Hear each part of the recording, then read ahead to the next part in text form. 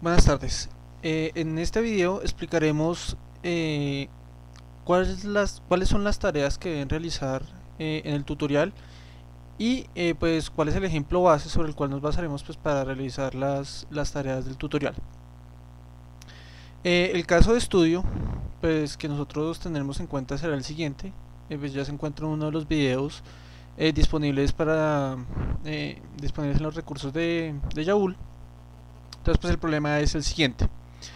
Nosotros tenemos este proceso que pues es un proceso de registrar básicamente o procesar eh, las reclamaciones de seguros y esto pues incluye las tareas de registro, eh, dos validaciones eh, y pues una aprobación o su contraparte que sería el rechazo de la, de la reclamación.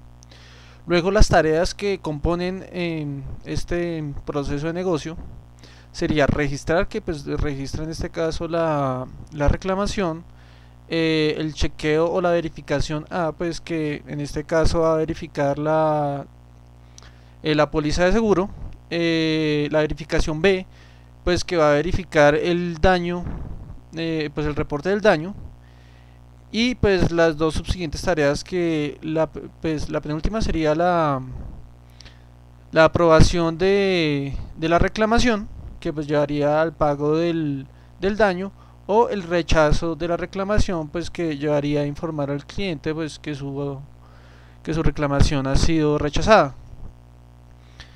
Eh, como podemos ver acá al lado derecho pues que está el diagrama, pues este sería el diagrama que me representa el proceso de negocio, dado que eh, de acuerdo con el planteamiento la verificación A y la verificación B se pueden dar el paralelo y no necesita de una secuencia pues para que se hagan. Entonces por lo tanto pues yo lo puedo paralelizar acá. Eh, además de esto, se ha definido como regla que para cada una de las validaciones pues utilizaríamos los valores de OK y no OK, o sea, está bien o no está bien. En este caso, pues lo utilizaremos así y eso tendrá un impacto en nuestro modelamiento de datos, pues que se acercará, esto nos permitirá acercarnos mucho más al modelo real del negocio. Y además de esto está el hecho que si las dos, o sea, las dos verificaciones, la A y la B, eh, son validadas correctamente o tienen un valor de OK, pues nos llevarán a que el pago sea hecho, es decir, que la solicitud sea aprobada. Y en caso contrario, que alguna de las dos sea eh, no sea válida, nos llevará al, a la negación de la reclamación y por lo tanto nosotros no desperdiciaremos trabajo y pararemos completamente las actividades en paralelo que se estén que, que, se estén haciendo, o sea, no necesidad que estemos haciendo otro tipo de actividades, no tiene razón de ser. Entonces, pues luego debemos eh, cancelarlas. Ahora bien, además de esto, añadiremos el elemento del organigrama de la empresa. Es decir, eh, diremos que el registro solamente se podrá realizar por una persona que, pertene que pertenezca al servicio al cliente. Eh, la verificación la verificación A solamente la podrá hacer un especialista de tipo A, pues que si lo pasamos a, a términos reales, pues sería la persona encargada de verificar la póliza de la póliza de seguro que sí exista dentro del sistema y pues todas las subtareas que tenga que hacer. Y el especialista B sería la persona que va a verificar el reporte del, de los daños. Entonces pues acá lo vamos a generalizar como un especialista B. Y las tareas de aprobación, que ya es el pago o el rechazo, se podrá hacer por alguien que pertenezca al servicio al cliente. ¿Ok? Entonces pues acá están los tres roles y cuáles son las tareas que podrá realizar subsecuentemente. Eso también afectará cómo nosotros vamos a modelar nuestro proceso de negocio.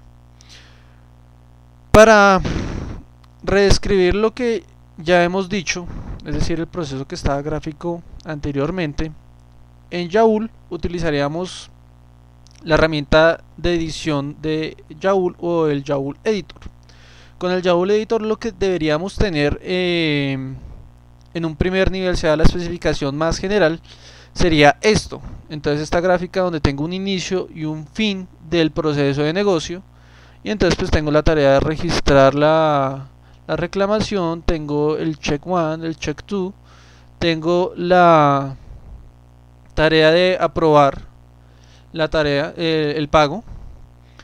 que tiene, o sea, para que esto suceda se tiene que cumplir que esta tenga un valor de OK y esta tenga un valor de OK o de aprobado, que son, que son eh, representados por estas fechas.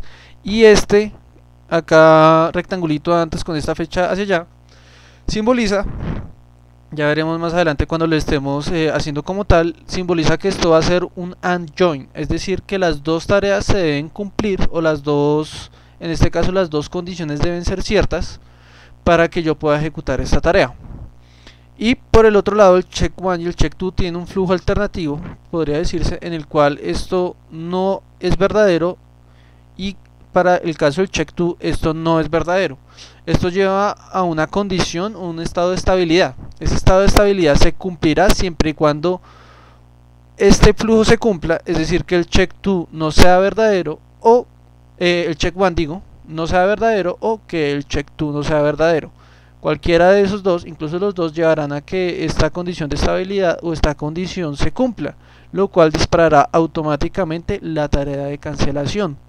La tarea de cancelación se debe encargar de cancelar esta tarea, aunque en la vida real pues uno diría es como obvio. Eh, en, este tipo de sistemas es necesario cancelar y limpiar todo, todo el sistema de eh, instancias del proceso de negocio que estén corriendo y que no sean necesarias, es necesario pues cancelar ese tipo de cosas para dejar ir el sistema. Una vez cancelemos los procesos en paralelo y empecemos a liberar el sistema, enviaremos eh, una, una, comunicación al cliente, pues que se supone que debe hacer esta tarea, diciendo por qué no fue eh, aceptada su solicitud y terminaremos eh, el proceso después de eso. Quedará terminación. Entonces pues utilizaríamos el Java Editor. Ok. Acá tenemos un modelo organizacional. Pues no durante la durante el desarrollo del tutorial no lo plasmaremos completamente, pero pues lo plasmaremos en, a cierto nivel. Entonces tenemos que los roles de servicio al cliente los puede realizar el usuario ANA y el usuario ADA. El especialista A lo puede, o lo puede realizar o tiene el rol permitido el usuario B hace y el, usuario ven y especialista B pues podemos ver que acá el usuario B hace también puede hacer eh, de analista B junto con analista A y pues está el usuario Carol y el usuario Chris. Esto en nuestro modelo significará que nosotros podemos restringir qué roles y qué personas pueden realizar cada una de las tareas. Entonces pues acá ese tipo de, de asignaciones o ya de restricciones de ejecución lo realizaríamos en el centro de control de Yaul, que para eso necesitaríamos eh, iniciar el, eh, el motor de Yaul, que veremos más adelante.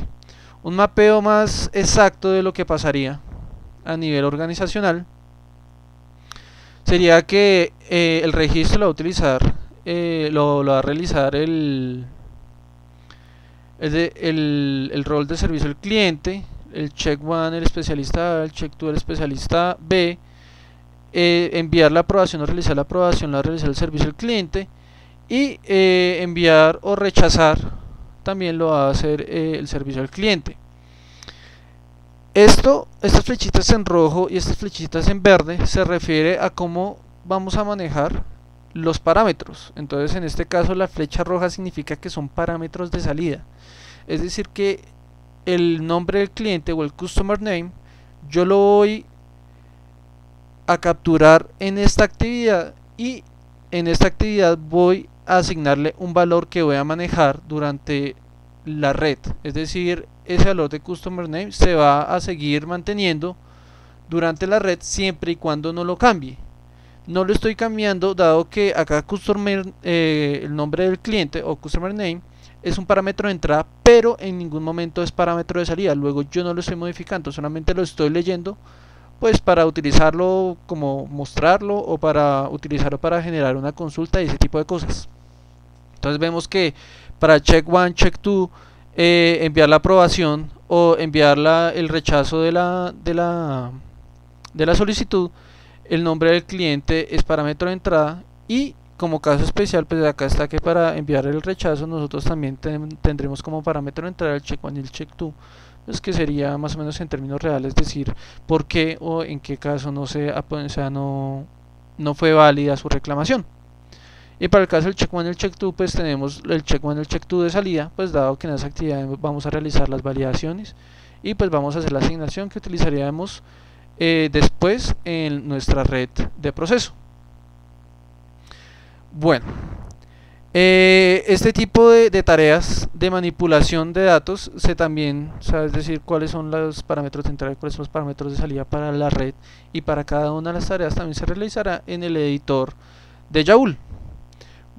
Eso sería todo por ahora, esa es la descripción general de lo que sería el ejemplo y al final ustedes deben entregar esta especificación eh, completa junto con eh, la ejecución de, en el motor de Yaul con unos cambios adicionales pues que yo no explicaré de forma específica en mis videos tutoriales y que ustedes deberán realizar pero pues igual yo les daré el conocimiento necesario para que puedan completar las tareas. Muchas gracias por su atención